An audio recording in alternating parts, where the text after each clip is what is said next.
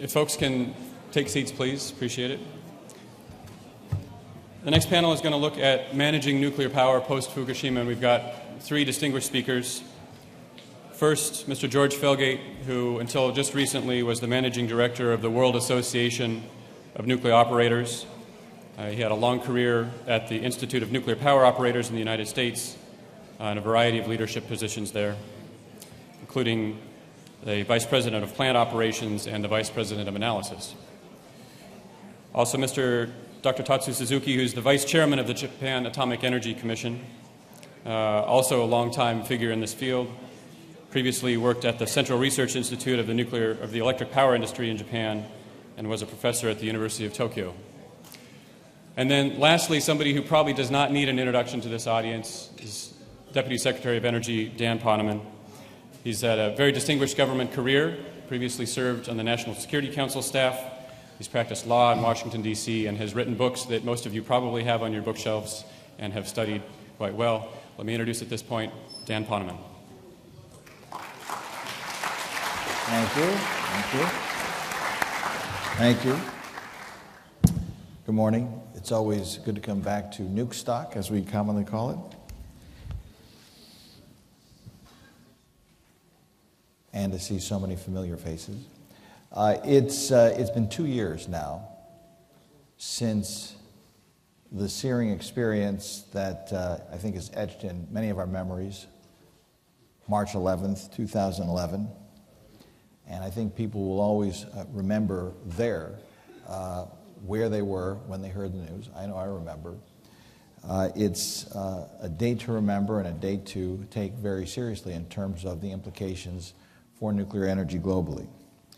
And uh, this group, the Carnegie Conference, has spent so much time working on the toughest issues and challenges that face nuclear issues, nuclear energy, that it is fitting and proper that they take up the challenges uh, not only in nonproliferation space, but obviously also in nuclear safety space. And so we have uh, here assembled uh, a very august uh, set of experts to help us understand some of these issues. So, here are some of the questions that we need to be thinking about, need to be addressing now, two years after the accident and the terrible tragedy of the tsunami at Fukushima. Where are we in term, terms of civil nuclear power development and sustainability? What lessons have we individually and collectively learned? And what paths are our governments taking in terms of building their sustainable, secure energy futures, and what role do they see nuclear as having in that future? For our part, the United States has been consistent. Within a few days of the events at Fukushima, President Obama uh, stepped out into the Rose Garden and restated the United States' commitment to safe pursuit of nuclear energy when he noted that, and I'm quoting here, when we see a crisis like the one in Japan, we have a responsibility to learn from this event and to draw from those lessons to ensure the safety and security of our people. So the president asked the Nuclear Regulatory Commission to conduct a comprehensive review of the safety of the existing U.S. fleet of 104 operating reactors across the country in light of the uh, events and the lessons learned from the Fukushima accident. And they did that. Uh, so in July of that year, a high level Nuclear Regulatory Commission task force completed a 90 day review of the agency's regulatory oversight and safety standards given the insights from Fukushima. The task force first concluded that there was no imminent risk from the continued operation of the United States nuclear power plants and the NRC is continuing to work with industry to address the recommendations that require uh, longer term research and evaluation, and to take uh, into account all of the recommendations that that task force uh, came up with. Now, we are building in the United States our first set of nuclear power plants uh, since our own uh, searing memory, which I also remember where I was, March 1979, Three Mile Island led to a 30 year hiatus uh, in the construction of commercial nuclear power plants in this country. Four units are under construction right now two at Vogtle in Georgia and two at the Summer site in South Carolina, and we continue to incorporate the lessons learned from Fukushima into our approach to nuclear safety, both for our current generation facilities as well as for our next generation reactors. Around the world, governments are having to make their own decisions, sovereign decisions regarding the future of their own domestic nuclear programs, and to weigh those decisions against energy, climate, national security, and of course, safety challenges. But we've seen many uh, nations come to a similar conclusion to the conclusion that we have drawn, which is that pursued safely, nuclear energy can play an important part uh, as part of our long term low carbon energy portfolio. When it comes to combating the ever more serious threat of climate change, we do need an all of the above approach to energy, as President Obama has often stated. Nuclear safety is also an area where we have to take advantage of the best practices that many of us are developing in our own countries. The continuing dialogue taking place through the IAEA is an essential part of this conversation, and perhaps some of you here did as well, but just yesterday we had a very good conversation with Director General Yukiya Amano, who has played a very strong leadership role uh, in this area and continues to do so. Uh, I would particularly note that the IAEA safety ministerials, which uh, I had the opportunity to uh, attend the first one, I think, in June of 2011, and of course, the very productive meeting that uh, followed up in Fukushima last year, have been a very important part of this whole process. I want to be clear that the United States uh, remains and will remain a dedicated partner to our bilateral and multilateral uh, engagements in this issue. We uh, obviously also have to remain equally assiduous in pursuing our nonproliferation agenda because, as I have often said, I think including at this forum in years past, just as in the area of safety, an accident uh, anywhere is an accident everywhere, so too when it comes to nonproliferation. Uh, anything that affects any of us in any country of the world uh, will immediately be felt elsewhere and everywhere. And so we have to be extremely focused the president has made this obviously a very uh, central element of his overall national security agenda and sketched out, I think, a, a comprehensive and uh, ambitious agenda in Prague in April 2009 with a number of elements. We already have the New START Treaty Uh, to show for those efforts. We have continued our efforts on the four year lockdown on vulnerable nuclear materials. And of course, the president also called on that occasion for a new civil framework for peaceful nuclear cooperation. He laid out a vision for that framework that could assure all nations living up to international nonproliferation norms that they can rely on the commercial marketplace to reliably provide the fuel services that they need to operate their nuclear power plants. So, for each of these issues that I've laid out, and which I, I've seen in the, this audience at least three or four experts on each one, uh, this panel of experts that have assembled on stage, as well as uh, many of you out there uh, in the audience, are uh, extraordinarily well suited to discuss these and to help shed light and understanding. These conversations, indeed, I think are critical. It provides a safe haven for a lot of conversations that allow people in government to communicate uh, freely, test out ideas, uh, get understanding of best practices. It's a healthy robust dialogue and one that I very much hope will continue. So, you've already heard uh, the introductions of our distinguished colleagues, Mr. Felgate and Mr. Suzuki, and I'm now going to uh, open up briefly with a conversation with the panelists uh, for about 25 minutes, and then during the final part of our hour, we will take questions from the audience. Thank you.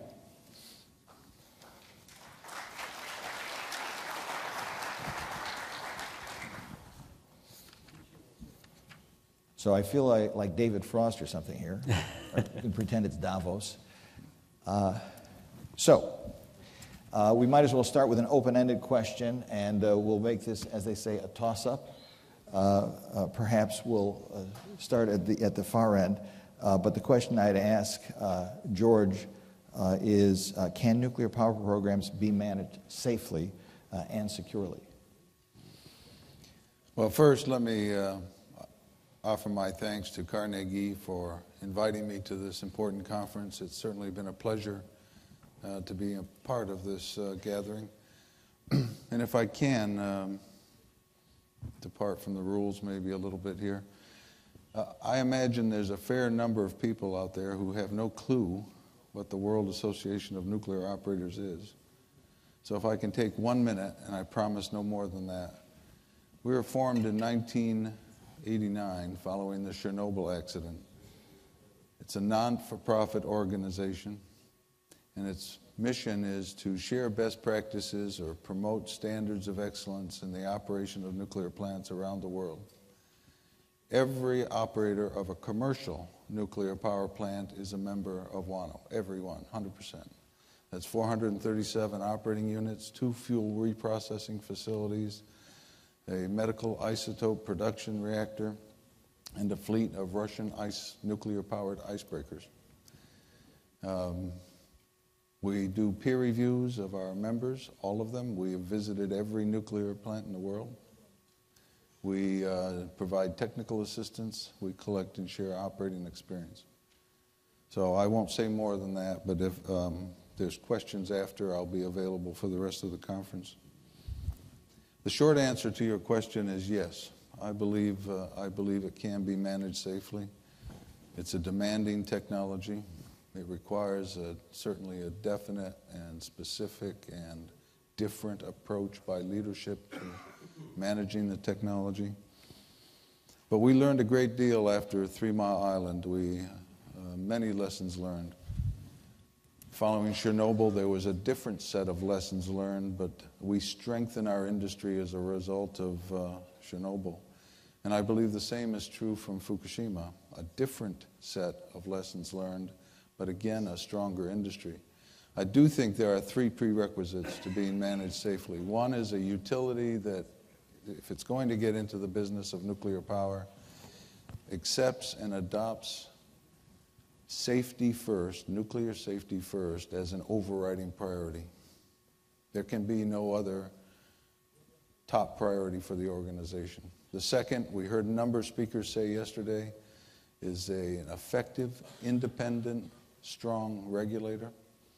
And the third, I think, is an, is an organization like WANO. And I say like WANO because there are other national organizations that do similar things. The Institute of Nuclear Power Operations in the U.S., JANSI in Japan, uh, in Russia. But an organization that takes the best practices, shares it, does peer reviews, provides assistance, helps one another achieve that never achievable target of excellence. So, yes, I believe it, it can be managed safely. Uh, and Tatsu, if I may just put Sure. the same question to you as well. Oh, sure. They are- I, I quite agree with him. Basically, uh, uh, nuclear power plant can be operated safely. But just, uh, but bef- uh, I have to just tell you the one thing before I go on. Um, I think right now uh, we have to remind, I have to remind you, all of you, that the Fukushima accident is not completely over yet. And on site, still many people working every day, uh, exposing their uh, work. I mean, workers uh, taking a risk to manage the plant.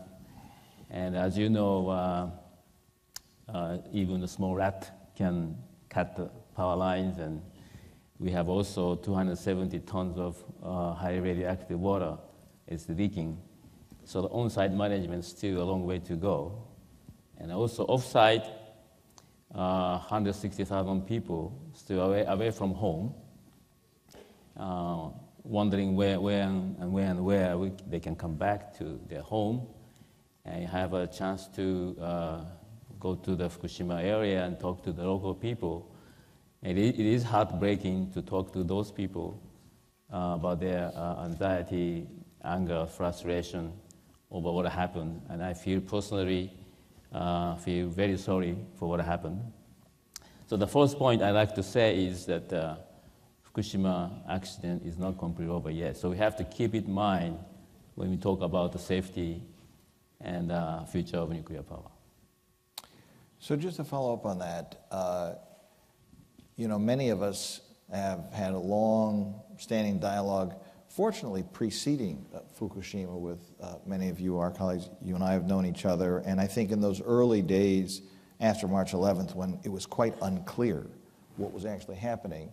A lot of those informal uh, contacts and, and relationships and professional uh, friendships that had developed over the years were very helpful.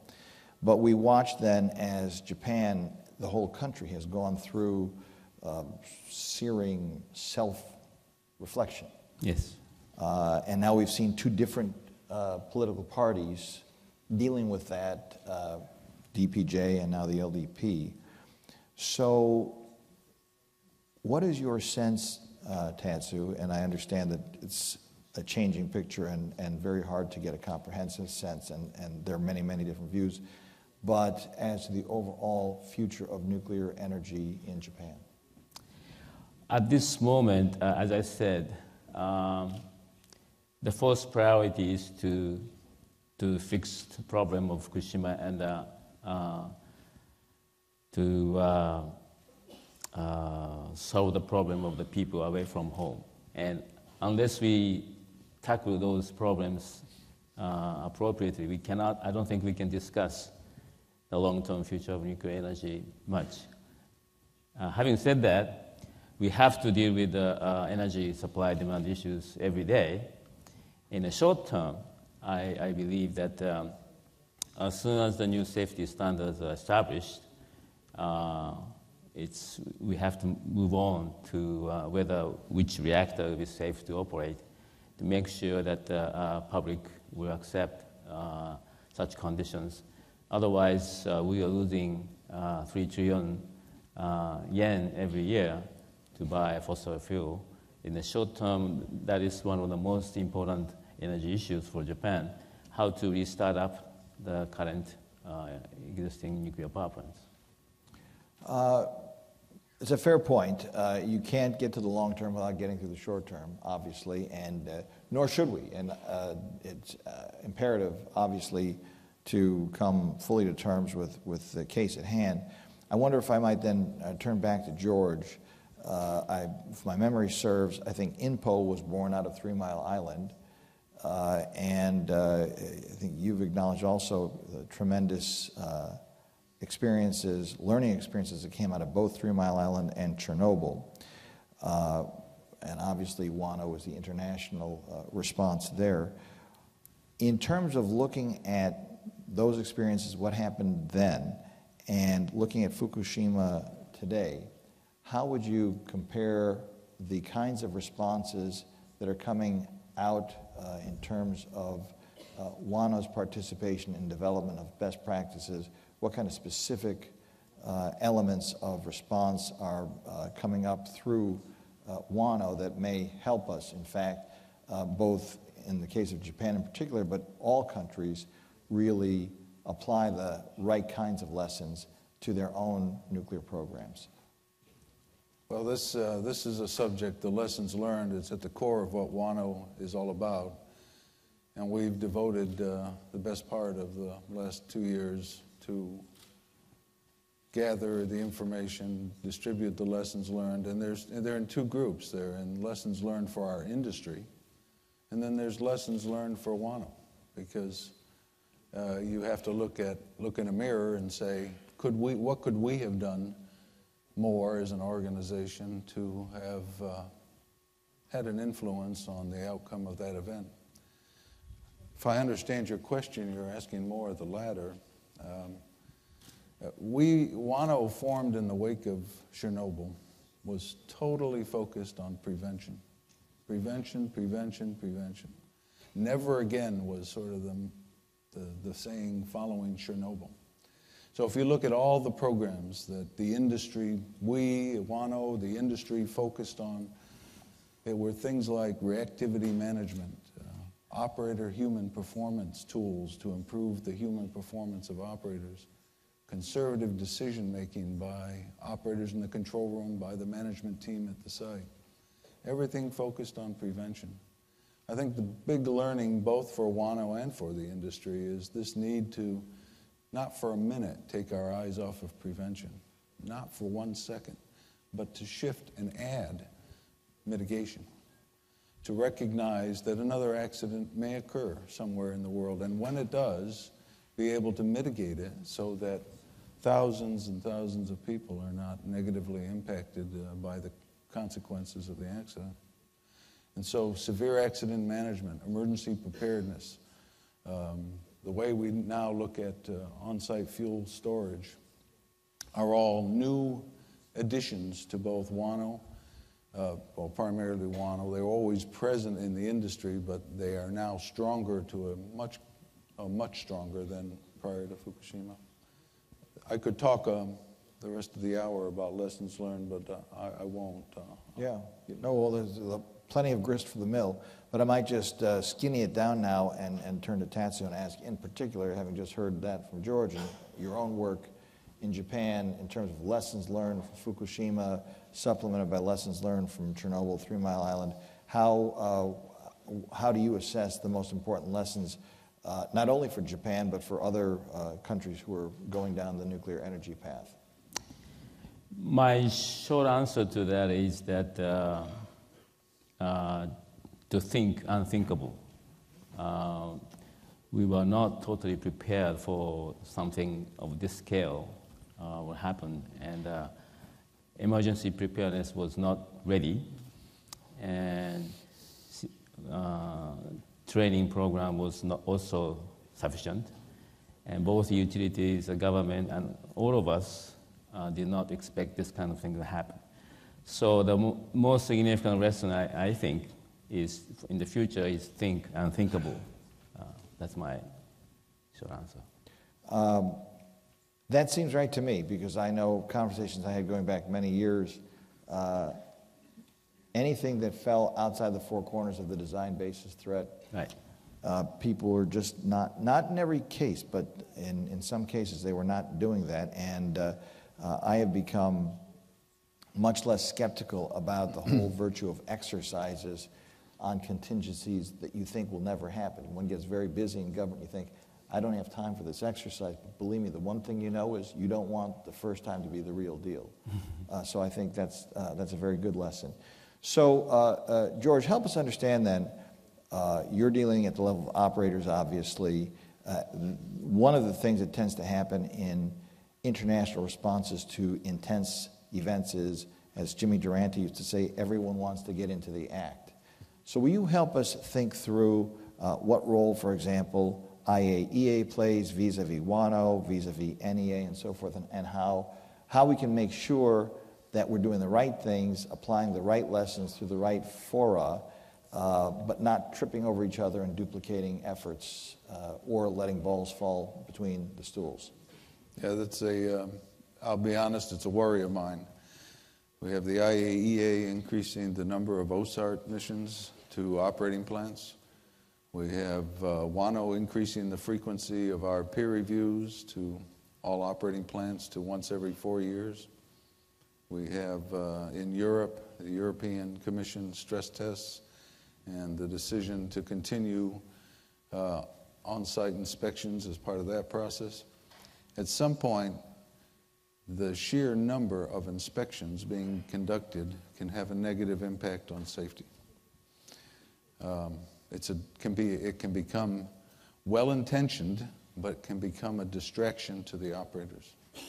So, coordination, accepting one another's review, what I call equivalency, is uh, something that WANO is looking at very closely.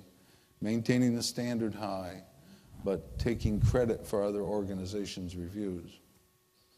I think another, um, we have a close relationship with the IAEA. We have a memorandum of understanding with them. We share some information, not confidential information, WANO confidential information, but some information. But in my opinion, the area that is needed is a stronger look at regulators. It's completely off the table for WANO. We're, we look at plant operations. But I think IAEA, the governments being the organizations that support IAEA, are in the best position to do hard hitting, thorough reviews of independence and effectiveness of national regulators. In fact, I would like to see that be their emphasis and have them back out of the operating plant peer reviews and let organizations like WANO manage uh, that, that part of the lessons. Well, that's good uh, food for ha- perhaps further discussion uh, when we open it up. But uh, I don't want to let the moment pass without uh, taking the opportunity to ask uh, Tatsu Suzuki. I think there's a lot of attention in this country and probably many others focused on the reorganization of your own system, the establishment of the Nuclear Regulatory Authority, which came up in the last government but is now uh, transitioning into the new regime. Can you explain, for the uh, benefit of the audience here, what the new structure is and how it compares to the old structure?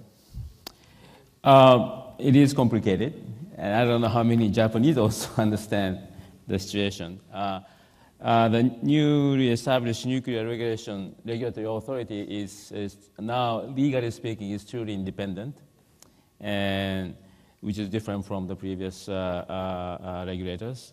And another important thing is combining the three functions: nuclear safety, nuclear security, and safeguards under one roof. Used to be distributed so it will be more, more probably effective. And third thing is that uh, uh, so-called emergency preparedness has been improved. They set up a new uh, permanent uh, council, so-called Council on Nuclear Prevention uh, or Disaster. The chairman is prime minister. And in case of accident, move to nuclear disaster management headquarters. So it's uh, uh, now the regularly uh, the government have a meeting to discuss the prevention of nuclear disaster. So those are three things important to note. Okay, and, and then I think George may have mentioned in his opening remarks the uh, National Industry Associations of Operators that have been set up. Uh, George, what advice would you have for Tatsu and his colleagues uh, as Japan is trying to bolster its organization of operators uh, lessons learned from your own experiences both at INPO and at WANO? Uh, well, I think there's some important principles that have made WANO successful over the years, made organizations like INPO in the U.S. successful. Uh, that would be uh, where I would look for advice. One is that um, the organization um, needs to have the direct involvement of the CEOs. Uh, that's extremely important. If the CEO sets the tone for his entire organization, if the CEO is directly involved in, we're talking about JANSI, the, the uh, INPO-like organization in Japan, is directly involved, then it sends an important message throughout the whole organization. The staff has to be high quality and uh, credible. They'll have a group of from JANSI coming into the nuclear power plant, and the people at the plant, their first question will be, who are these people? What do they know? What, do they, what can they bring to the table? So the staff of any organization like INPO, WANO, or JANSI has to be credible, knowledgeable, experienced people, managers in their own right. And a very controversial issue is public versus private. Uh, I will tell you, since uh, Fukushima, this, is, this debate has raged with, within WANO. And uh, uh, JANSI has decided in a public approach, meaning their reports of their reviews will be made available to the public. WANO has for many years and continues that our reports are private between WANO and its members. I believe it's important to, be, to maintain that confidentiality with the members it leads to greater depth of the issues that we identify, more candor in the issues. The reports are not written for public consumption, in other words.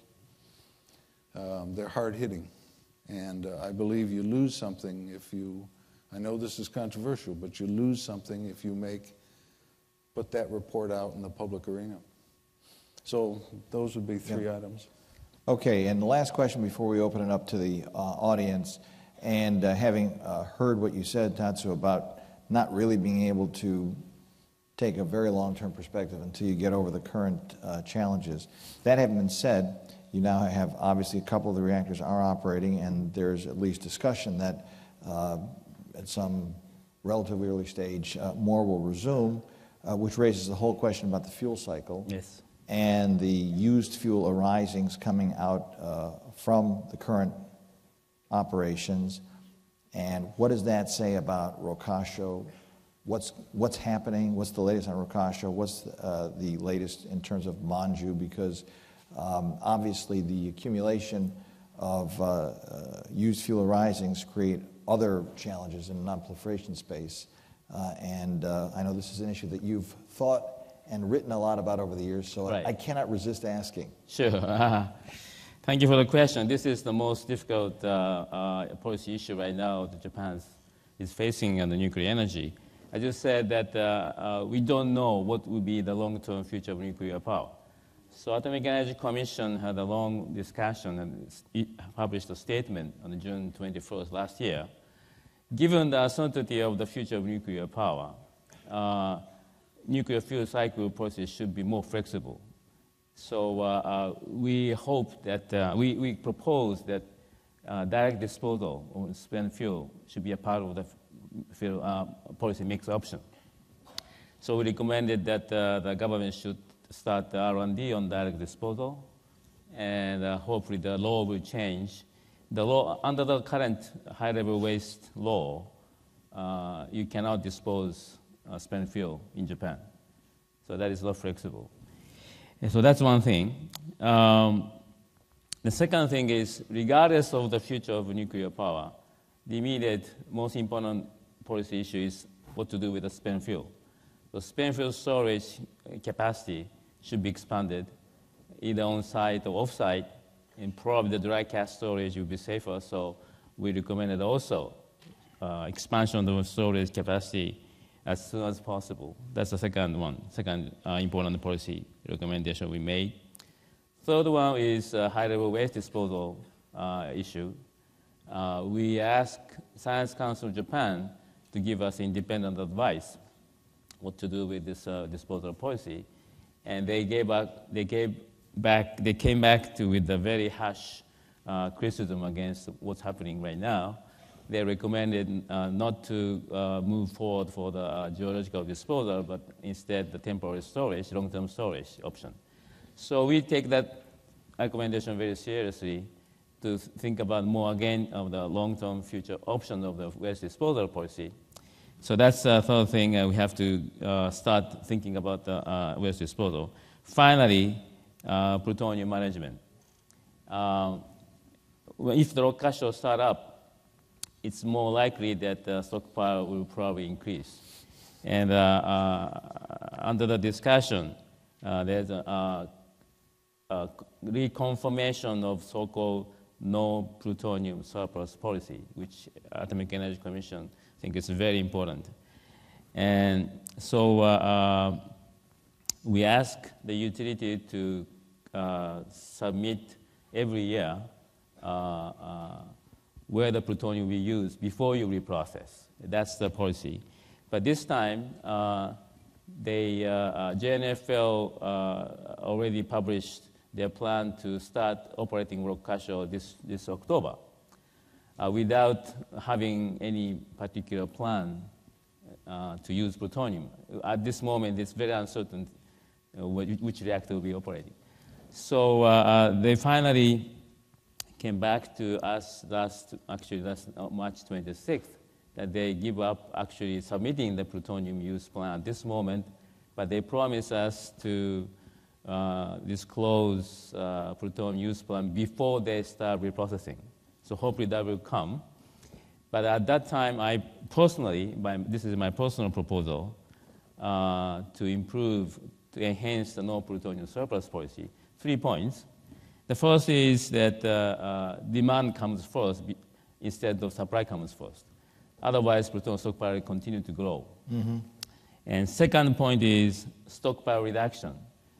Until I see, we see the reduction of plutonium stockpile, it's better not to start ro- Rokkasho. Otherwise, we start increasing the stockpile again. The third uh, principle is that more flexible plan for plutonium use. At this moment, the official plan is to uh, recycle plutonium in 16 to 18 light water reactors in Japan, Yeah. which is still the uh, uh, still as a part of the government policy. But as, as, I- say, we don't know how many reactors will be operating. So I propose that uh, it's, it's better to come up with a more uh, flexible option, like a backup of the uh, uh, plutonium disposition plan. For instance, that uh, the utility have a, a ownership transfer between the utility companies. So instead of 16, 18 reactors, each reactors, each utility take over the plutonium. Yeah. You can swap the plutonium. And also, UK has a disposition plan in Europe. They also uh, have a plan to take, o- take over the plutonium ownership from, from other uh, countries. That kind of thing should be a part of the plutonium disposition plan. So those are three uh, uh, pr- principles I propose personally uh, in, the, uh, at the end of last March. So my, my point is that this is one of the most important part of the nuclear energy policy, which have to be uh, kept in mind in the, in, the, in the new administration. Thank you. Well, I'm sure uh, that point has engendered a lot of interest in uh, many of the people in the audience, as has uh, the rest of our discussion. I think now is the right time to open the floor. Uh, again, I see lots of uh, very familiar faces, and uh, but anyone can approach the mic. And please, to the left. Mic working? I'm Bernd Kubbig from PRIF in Frankfurt, and uh, I'm glad to report it's a country that I think that draws the right uh, conclusions from Fukushima, Three Mile Island, and from Chernobyl, and that is get rid of nuclear power and try to embark on a path of renewable energy sources. And I'm surprised that none of you here considers this option as something that could be part of the game. My question to you is in view of the causes that caused Hiroshima, that caused Fukushima, and Chernobyl and Three Mile Island, wouldn't you agree with me that this range could be expanded of causes that you cannot foresee so that the next round, hopefully not, of, a, of an accident has causes that you cannot foresee and which I think endorses my case of our government and of our population. The right thing is to try to get rid of nuclear power and to find new ways. Thank you. I would just uh, allow myself a, a brief comment. Uh, when President Obama has referred to the all the above energy strategy, uh, we are heavily, heavily committed to the renewable agenda. And by the way, we're heavily committed to efficiency and reducing demand. We have more than doubled uh, new renewable power generation sources in the last four years. Last year alone, we put 14 gigawatts of wind in. We got 60 gigawatts of wind total. We've doubled from a smaller base, admittedly solar. So we will not be outflanked in our dedication uh, to that. We do believe in looking at the threat of climate change that nuclear energy safely pursued with a much later generation technologies uh, is uh, uh, obviously an important part of the solution set. And uh, we'll continue to make sure that we do what you suggest, sir, in terms of trying to anticipate. I think this goes to Tatsu Suzuki's earlier point anticipate the unanticipated. Uh, and uh, we are in a culture that demands continuous improvement and uh, thinking the unthinkable. And I think that would have to be part of any responsible uh, approach. But I uh, would like to invite either of our colleagues to comment as well. I'll just um, briefly answer. Look, WANO is not an advocate for or against nuclear power. We can't be for the many of the reasons that were discussed yesterday in this room. I can't go into a plant one day and do a hard hitting review and then the next day stand up on a stage and talk about how wonderful nuclear power is. There's no credibility in that. So we are not an advocate for nuclear power. But if a country decides to go forward with nuclear, we will work with that country, that utility, uh, to make sure it is operated as safely as possible. And to your second point about uh, we aren't taking the lessons from Fukushima and preparing our industry to handle tsunamis. we're taking the lessons from uh, Fukushima to put in place mitigation steps that can handle a broad range of initiating events, initiating events that we can't even conceive today. Um, I think that's the le- learning. If we start to s- guard against specific events, someone will always come up with one more scenario we didn't think of. So, to better to blanket the entire un- things you can't conceive of and put in place steps that limit the consequences if the unthinkable does happen. We have four, four mics, and I see a large number. I'm going to ask my colleagues, and I'll try to do this too, for us to be brief in, in our responses. And I don't think we should all three feel obliged to answer all questions. And if I could ask our uh, questioners to both uh, uh, say who you are and then also be brief in your question, I think we'll have a shot at getting through uh, at least most of the, the questions. I'm just going to alternate mics, so go ahead, sir. Thank you. My name is Christian Rengifo UX Consulting Company. My question is to Mr. Felgate. Uh, have there been discussions within WANO and its members about what to do in case some members do not follow up with the recommendations of WANO? Uh, I know that you grab reports, but I'm just wondering whether ha- they're having discussions about how to proceed with a member who is not, let's say, complying with some of your recommendations. Yes, accountability. What if a member gets an area for improvement and decides to do nothing with it? We have an escalation policy leading up to termination or removal of the member from WANO. Now, you might argue that's the worst thing you can do. If you've got a member that's got problems, you're going to remove them from the organization and they pose a risk then to every other operator in the world. So it's never come to that. Peer pressure, contacting the government if necessary, uh, contacting, um, having a, a delegation of CEOs visit the CEO who is not meeting their obligations, has in every case that I've been involved in been effective. Thank you, George. Professor Sagan. Scott Sagan from Stanford University. My question is for Tatsu, and it is uh, about the security lessons learned from a safety incident.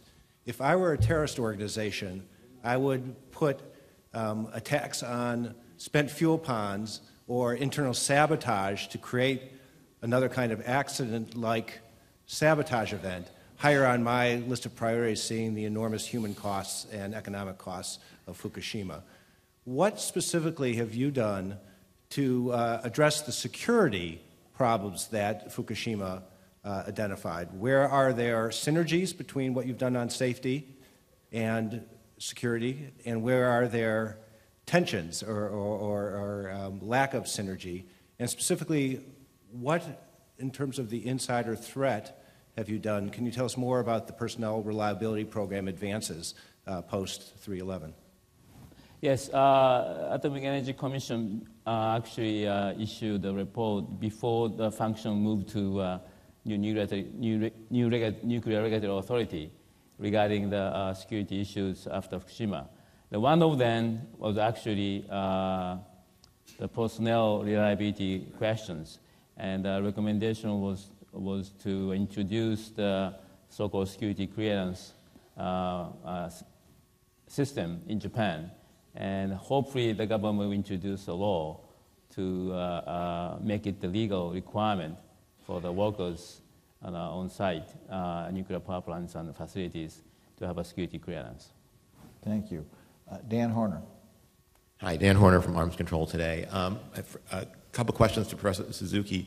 Could you clarify the situation with Rokkasho? I, I thought I understood from your remarks there's a possibility it would be the startup would be deferred beyond October, or were you implying it might not start up at all? If, just if you could uh, Sure. explain what the range of options is. And also, you talked about the flexibility, introducing more flexibility.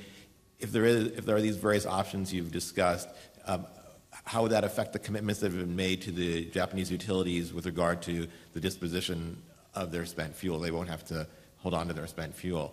Um, and I'd also ask Dan Poneman, does the U.S. have an interest in how in, the, in how Japan decides this issue in the context of the policy that President Obama laid out at the Prague speech and more recently at, the, in Hankuk? Thanks. I, I didn't mention that the uh, safety uh, uh, regulation for the nuclear fuel cycle uh, is still underway. Uh, the new safety standard could be established by the end of the year. Until then, uh, Rokkasho may not start up. So uh, uh, it's likely that uh, uh, the operation of new Rokkasho facility will be postponed until probably early next year. Uh, for spent fuel disposal, at this moment, uh, still, as I said, the law, uh, under the law, utility cannot decide to dispose of spent fuel. And so the, the best thing they can do is store spent fuel safely. And then uh, uh, if there's a reactor to burn plutonium, they can reprocess. Other than that, no other plan. And, and Dan, uh, part of the question you directed to me, our position is, as it always has been, we obviously respect uh, Japan's sovereign right to choose its own energy policy. We're close uh, partners and allies. We'll continue to be supportive as uh, much as possible. And clearly, when it comes to things like the Prague Agenda, we have a, a strong and continuing dialogue with our, our Japanese partners uh, on, uh, on all aspects of it. So I think the, we're now at this mic, Ralph Cossa. I don't know if it's hot. Keep speak. Uh, okay. Right. Uh, for Dan, actually, uh, what lessons learned has the United States taken from uh, Fukushima as far as long-term storage of spent fuel? Seems like we're going in the opposite direction, talking about closing Yucca Mountain without any long-term plan for ourselves. So what,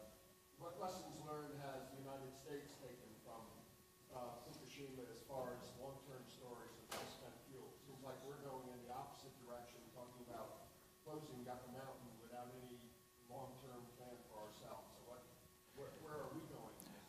we have, I think, a very good uh, path forward, Ralph. It, it's not one that was shaped by our response to Fukushima, but it was clear to us uh, before that time, back in 2010, when President Obama asked Secretary Chu to put together a Blue Ribbon Commission, uh, because clearly we need uh, a back end solution, A. B, clearly we need a consent based uh, approach to it.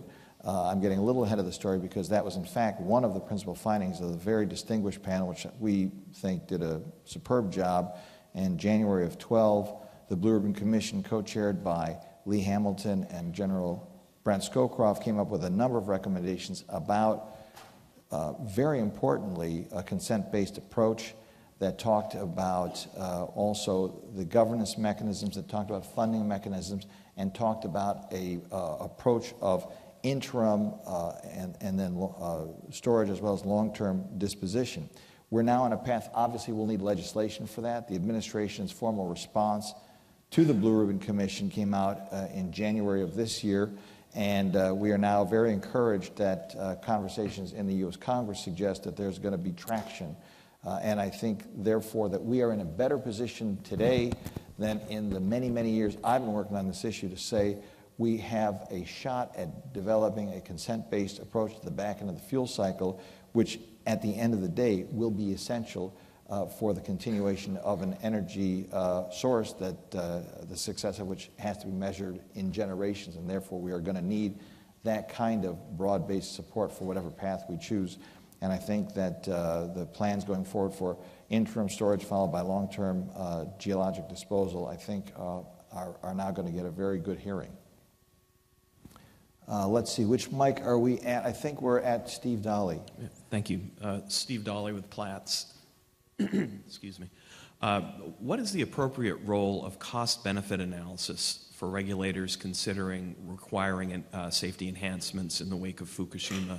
And uh, how can uh, such cost benefit analyses and decisions based on them appropriately account for qualitative factors like in, enhanced uh, defense in depth that might come with some, some proposed improvements that might not meet strict cost benefit analyses?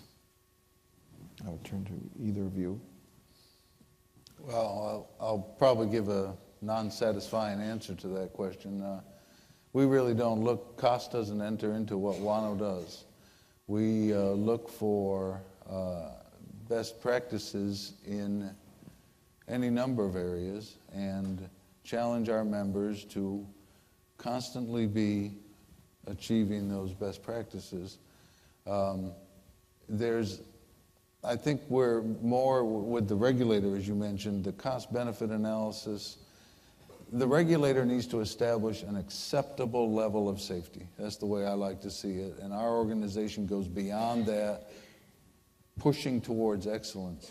So for us, cost benefit doesn't really come into it. If it's a best practice in the industry, we expect our members to try to adopt it.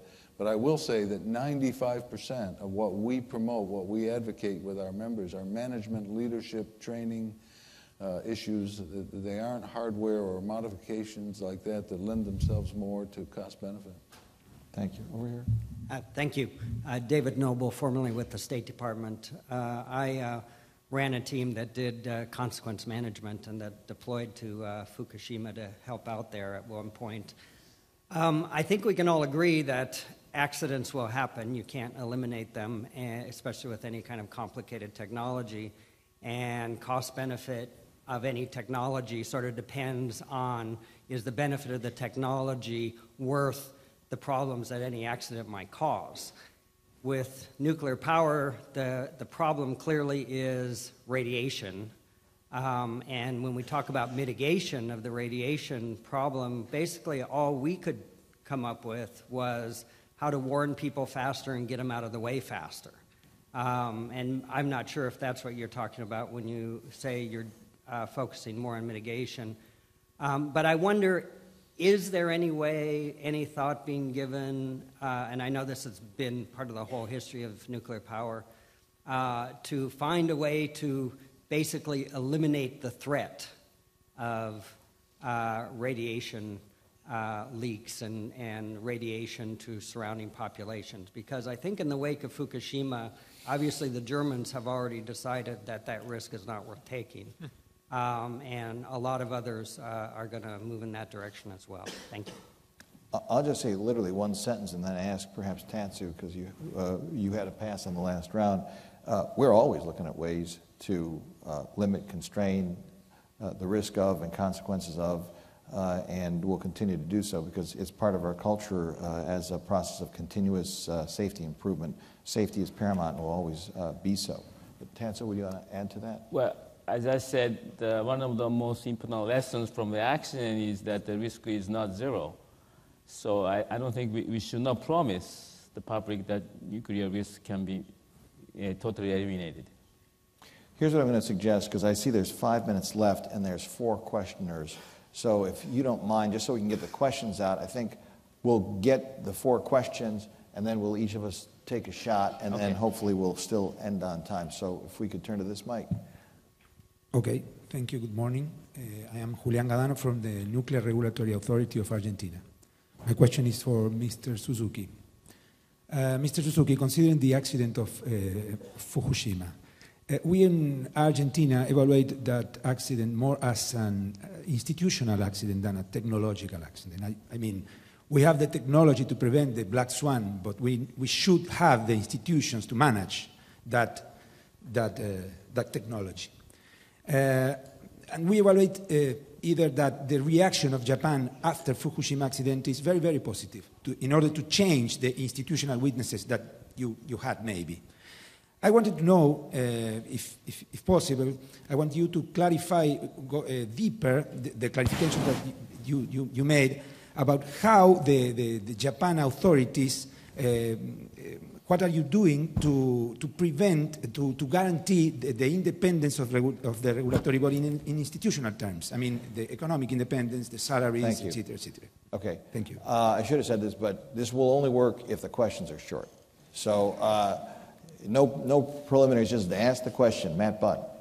So um, I wonder if there are lessons to be learned about international peer reviews and their effectiveness. Because now, after the accident, we're looking back and saying, oh, Japan wasn't meeting this standard and they knew about tsunami risks and didn't do anything about it and so on. And yet, you know, they'd had an international regulatory review just a few years before that sort of made a few modest criticisms, but basically said things were okay. They'd had WANO reviews.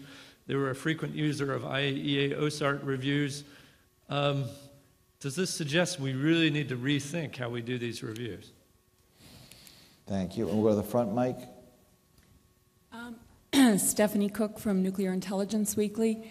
Um, I've been talking to some regulators, uh, previous commissioners of the NRC recently, and who point out a couple things. One is that our emergency response regulations still assume that 10 mile evacuation zone is appropriate, and so their cost benefit analyses are based around that. The other thing is, is that U.S. reactors, the operating U.S. reactors, were designed at a time when things like hydrogen explosions and core melts were not even allowed to be part of the discussion. Um, the NRC has recently kicked into a four year rulemaking the issue of even putting filtered vents in BW, older BWRs, which makes European regulators, for one, kind of scratch their heads since they've had filtration since the early 80s, as I'm sure Dan knows. So I wonder how, and, and then of course you're probably aware of the comments of uh, Chairman Jaczko, or former NRC Chairman Jaczko, who thinks that our plants should be phased out after 40 years. So I wonder how you jive all those um, very quick. I'm, um, admittedly, um, it's, a, it's a rather quick uh, summation of the other side of that argument um, with your um, statements that things are safe and that we're doing everything possible to prevent a disaster in the United States. Thank you. And uh, the last question then? Uh, yes, uh, Christopher Paine with the Natural Resources Defense Council. Um, uh, that previous questioner had some, some of what I was going to ask, uh, but let me just add to it. Do the members of the panel feel that in the wake of Fukushima, that licensing standards nationally and globally should incorporate uh, land contamination and economic damage as an explicit criteria in licensing rather than follow the U.S. practice of simply pursuing avoided dose as the, uh, to the exposed population as the, as the main criteria. Right. Okay. So I think maybe we'll just move uh, from one side of the panel, and then I'll uh, wrap up. And uh, uh we're they they gave us more.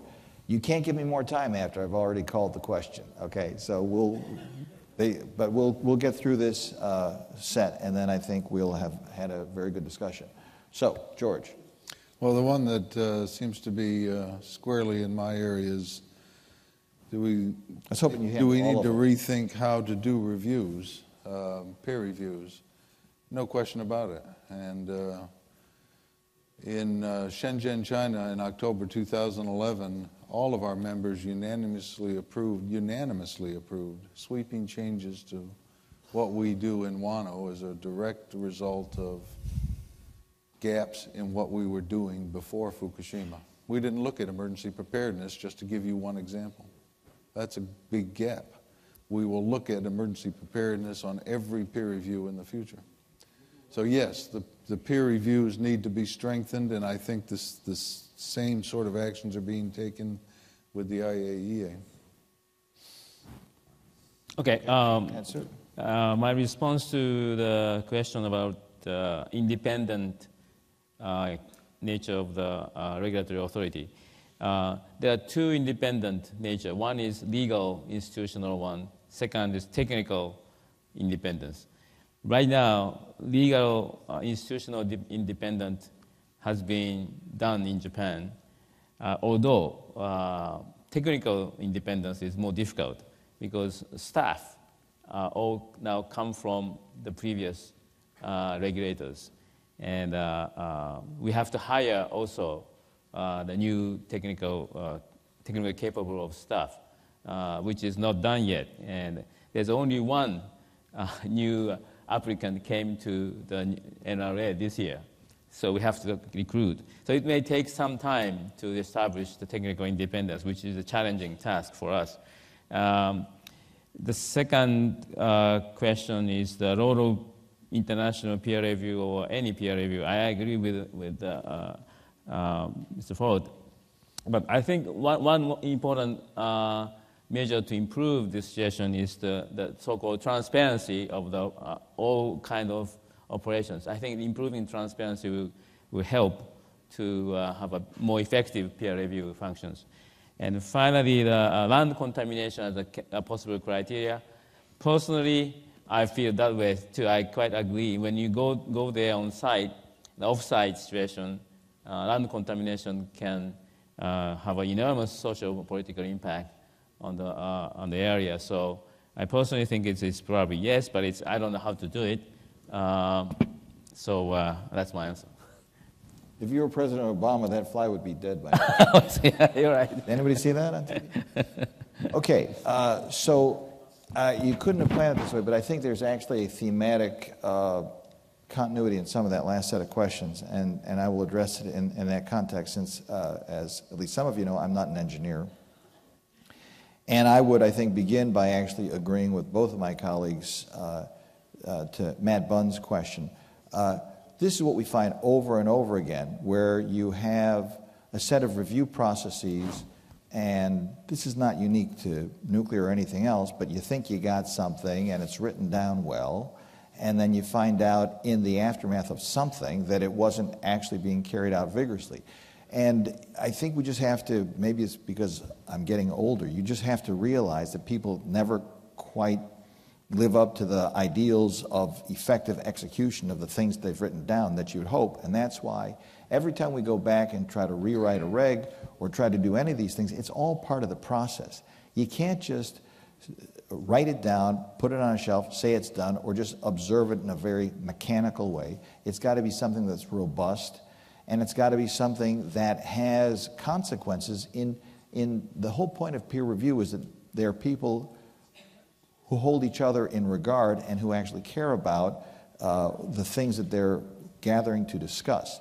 And so I think the answer will always be that we've got to do a better job uh, at peer review generally, A, and B, that the one thing in particular to guard against is that it does not become some kind of a mechanical check the box exercise that somehow becomes a substitute for very supple, uh, energetic, and creative, uh, as, as Tatsu was speaking earlier today, uh, out of the box thinking. So that's point one. In terms of the question, uh, the, the questions having to do with 10 mile evacuation zones, hydrogen accumulation, how do you jive all these things?